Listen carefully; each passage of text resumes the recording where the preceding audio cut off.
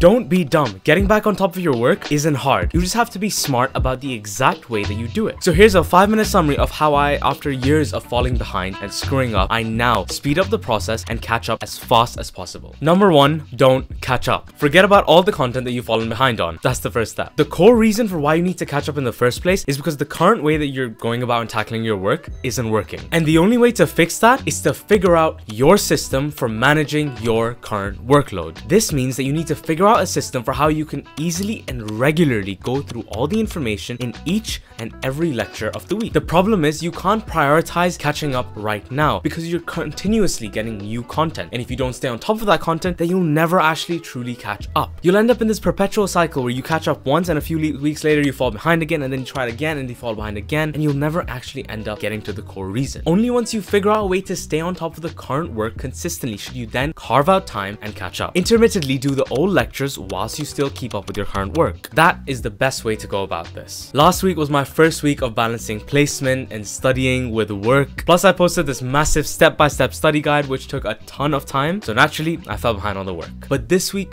focusing on improving my study system and logically getting through the content I have in the week, I surprisingly not only finished the work of this week but also caught up on 80% of last week's work. The problem is most people plan their work by tasks. They go like, yeah, I have to do this lecture, PowerPoint number 3, this assignment, and it all has to be done today. Which is the dumbest thing you can do because we consistently underestimate the amount of time it takes for us to complete a task. So instead of planning by tasks, plan by hours. That means that the practical method you should use to figure out your system to consistently stay on top of your work is by one, figure out how many hours your lectures or topics will take to go through in the week. And don't tell me, oh, it'll be different every week, I don't know. No, give me the average typical week. Let's say you have 15 lectures or topics and each one of them takes an hour and a half, which it definitely should not. If you learn to efficiently study, you can definitely reduce that. 15 lectures times 1.5 hours is around 22 hours of going through the information that you have to do for the week. Second, we divide that by seven days of the week, which is around three hours per day. Now you know that you have three hours to do every day to stay on top of the current work. You can 100% reduce all of this by studying efficiently, but for now, three hours. And third, you figure out a specific three hours in the day, a set study block of time where you get through all of your schoolwork. For me, I do this by having default study blocks in my day. If you're in school, you have a set timetable, so it's more predictable, so it's a bit easier. But even in med school, with placement, with jobs, I usually around five to six days of the week have my late afternoons or evenings free, so there's a default three to four hours that's there for one, studying, or two, YouTube. If I work during the free hours of my day, then boom, I have less to do when I get home. But 90% of the days, at least some form of work that you currently have on top of you, the lectures that you have to do of the day or for the next day, should be getting done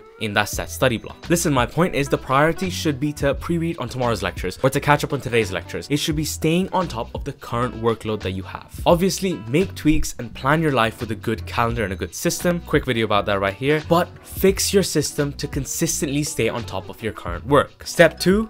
Layer the work. Once your system to stay on top of your work is in place, now is when you learn to catch up as efficiently as possible. When you do set aside time for you to work on the lectures that you haven't done, don't just start from lecture 1, spend 4 hours on it, lecture 2, spend another 2.5 hours on it, lecture 3, another 3 hours. Because if you do it like that, you will scrutinize on every single small detail in every lecture and try to understand it as much as possible. And the thing is, it's this natural thing of, oh, if I don't finish what I'm doing right now and completely 100% memorize it in my head, that I'll never come back to it and I'll have to move on and I won't know it. So instead of spending ages on each topic, why not focus on the high yield information? There's 60% of information from all the lectures that will give you the best overview and help you generally understand all the main concepts. Not even 80%, screw the 80-20 rule. The 60%, the overview. Because even if you're let's say 10 hours behind the work, this 60% of information you can easily catch up on and do in 4 hours. Which by the way, if you think about it, is a lot more easy to fit into your busy schedule of the week. And the reason we want to focus on the 60%, the 4 hours of work, is because the details in PowerPoint 3, slide 8 are less likely to come up on the exams, a lot less likely actually than the main concepts that will at least allow you to give each and every question in the exam a good go. Another important benefit to this strategy is that even if you don't get through all the details, if you only end up doing the general concepts and the overviews of each PowerPoint, that'll be enough to help you build that foundation for the next week's worth of learning as well. And then once you understand the 60% of the high yield content from each lectures, that is when you can go a step step deeper. You can study that next layer of information and take in the actual details. At this point, you're not only staying on top of the current work, but you already have a good overview understanding. So taking in the harder information isn't hard anymore. It's the simple concept of layering. Start with skimming through the entire thing, then take in the 60% of the high yield things from each lecture, and then gradually start taking in the harder details. Step 3.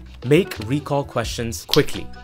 And don't stop testing. And by the way, just because you're catching up doesn't mean you can skip on testing yourself. You need to be testing yourself regardless of the backlog that you have. You do it with the current work that you're doing, you do it with the work that you're catching up on because yes, initially the first few times you do it, it will take a little time to get used to, to make questions instead of the notes while you go through the information, but you'll get good at it quickly. And if you're doing it slow, then you're doing it wrong. The studying process is logical, but it's also fluid. You read through the information, relate it with your broader picture, understand why it's important, and every few sentences you make one or two questions on what you've just read. Each question is like 8 to 10 words, it's not hard to type them out. I know it takes time to think about the questions, but my biggest suggestion is for you to stop caring about the quality of the questions when you're going through the information the first time. You can start to create them as soon as you start running through those general concepts. And you can do it very quickly if you don't care and think about them too much. Because the reason is when I come back to them to test myself, I've already gone through the content, so I know which ones are useful, which ones are useless, so I quickly edit them, I change them up. It's a process, you know? Because at that point, the thing is the information will be better consolidated and you'll have a better overall picture of the topics that you're doing. But the point isn't just to stop taking notes or just make the questions, it's to allow you to test yourself as much as possible regardless of the situation. If you have no proper source of practice questions or practice papers, then making these questions is your primary source for your revision. Doesn't matter how behind you are or at what stage of the revision you're at, testing yourself is the only way that you will retain the information that you understand. Anyways, to start organizing your current work and plan the catch up as well as possible, check this video out. All it involves is the two simple steps I take per day to organize and keep on top of everything that I do in my life. Thank you so much for watching. Let me know what you think of the video. Leave a like, spam the comments, and I will see you in the next one.